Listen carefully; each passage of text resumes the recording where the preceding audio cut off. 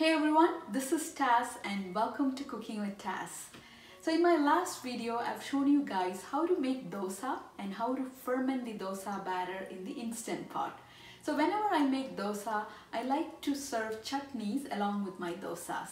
So in this video, I'm going to show you guys how to make a very delicious and aromatic chutney out of onions, tomatoes and coconut. And this is one of my favorite chutneys so when I make chutneys, I like to roast all the ingredients first. So in this recipe, I've added onion, tomatoes, coconut, um, dried whole uh, red chilies and some whole spices. So I'll be first uh, roasting them and then grinding them into a smooth batter. After that, um, I will cook them along with tamarind and also adding the tempering. So this is going to be a really delicious uh, chutney that can be served along with dosa. So let's get started. Place a non-stick pan over medium heat and I'm adding 1 tablespoon coconut oil. So let the oil melt. To the oil adding 1 tablespoon chana dal so if you don't have chana dal, you can skip this, but this will give a nice uh, taste to this chutney. So just saute till it turns golden in color and now I'm adding one onion chopped. Saute the onion.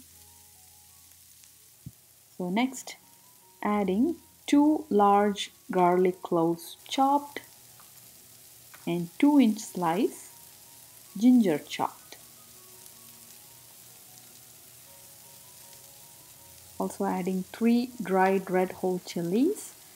So this is up to your heat level. If you want this chutney to be very spicy you can add more red chilies. I've also added one teaspoon cumin seeds. Okay so give everything a good mix. So next adding one chopped tomato and one cup grated coconut.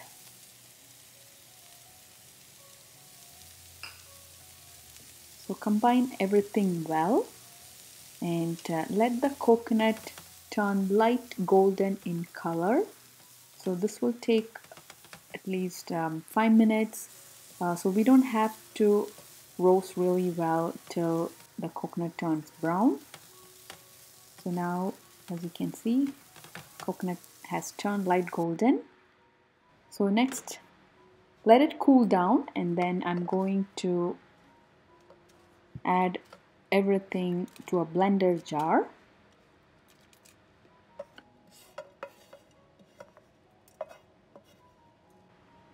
So next adding one cup water So grind everything so it doesn't have to be a smooth paste, it can be slightly coarse. So in a bowl I have added 2 inch slice fresh tamarind and have added quarter cup water. So I've soaked it for 5 minutes. So place a pan over medium heat and let it turn hot and then I'm adding 1 tablespoon coconut oil so to the oil when it gets hot, adding 1 teaspoon mustard seeds and let it splutter. Adding 2 dried red chilies. So I have half the chilies. So next let's add the ground chutney mixture. So as you can see this is not a smooth paste, it's coarsely ground. So to thin down the chutney I'm adding around half cup water. You can add to the blender jar rinse it and then add to the pan. So let's cook this for a few minutes. Now it's time to add the tamarind extract. So I'm going to strain the soaked tamarind extract and then adding that so I've added quarter cup water to 2 inch slice tamarind and I allowed it to soak for 5 minutes. So it will release all the juice. So give it a mix.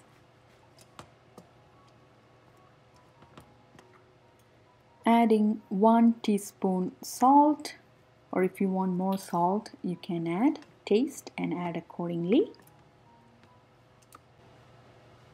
That's it, our chutney is ready.